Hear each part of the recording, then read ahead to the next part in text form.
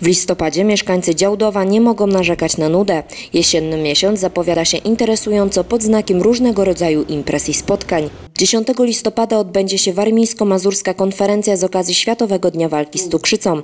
Podczas konferencji Cukrzyca bez tabu zaplanowano szereg wykładów poruszających tą tematykę. Spotkanie ma charakter otwarty, a wszystkich zainteresowanych organizatorzy zapraszają do Centrum Kształcenia Ustawicznego o godzinie 10. 11 listopada w Działdowie odbędą się obchody związane z 94. rocznicą odzyskania niepodległości. Uroczysta msza święta zostanie odprawiona w kościele pod wezwaniem podwyższenia Krzyża Świętego. Część artystyczna odbędzie się w Młodzieżowym Domu Kultury. Z okazji Święta Państwowego w Rybnie odbędzie się 15 bieg niepodległości. Impreza rozpocznie się o godzinie 11. Organizatorzy na ten dzień zaplanowali występy artystyczne, quizy i oczywiście biegi na różne dystanse. Więcej informacji na stronie www.gminarybno.pl.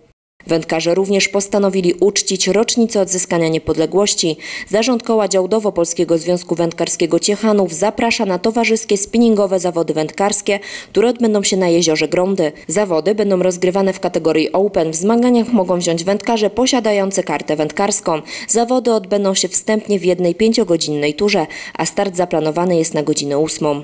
15 listopada spod budynku Młodzieżowego Domu Kultury o godzinie 10.30 przejdzie marsz pod tytułem Rzuć palenie razem z nami. W połowie miesiąca przyjdzie czas na muzyczną ucztę. 17 listopada odbędzie się piąty ogólnopolski Młodzieżowy Festiwal Piosenki Działdowo 2012. Gwiazdą festiwalu będzie Maryla Rodowicz. Spotkanie odbędzie się w hali widowiskowo-sportowej Gimnazjum nr 2. 18 listopada Gminny Ośrodek Kultury i Sportu organizuje indywidualny turniej tenisa stołowego o Puchar Wójta Gminy Działdowo. Rywalizacja odbędzie się w hali sportowej w Burkacie. Początek turnieju o godzinie 9.30. Zmagania zostaną rozegrane w trzech kategoriach wiekowych.